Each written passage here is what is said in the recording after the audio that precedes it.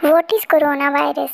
Coronavirus are a large family of viruses which may cause illness in humans or animals. In humans, several coronavirus are known to cause respiratory infection, ranging from the common cold to more severe disease, such as Middle East respiratory syndrome and severe acute respiratory syndrome. The most recently discovered coronavirus cause coronavirus disease COVID-19. What is COVID-19? COVID-19 is the infectious disease caused by the most recently discovered coronavirus. This new virus and disease were unknown before the outbreak began in Wuhan, China in December 2019. COVID 19 is now a pandemic affecting many countries globally. What are the symptoms of COVID 19?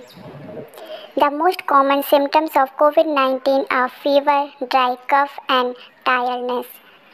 The other symptoms that are less common and may affect some patients include ache and pains, nasal congestion, headache, conjunctivitis, sore throat, diarrhea, loss of taste or smell, or a rash on skin or discoloration of finger or toes.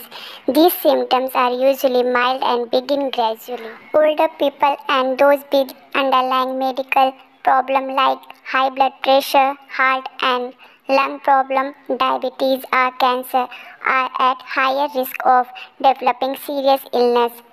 The people of all ages who experience fever and a cough associated with difficulty breathing, shortness of breath, chest pain, pressure, or loss of speech or movement should seek medical attention immediately. What should I do if I have COVID 19 symptoms and when should I seek medical care?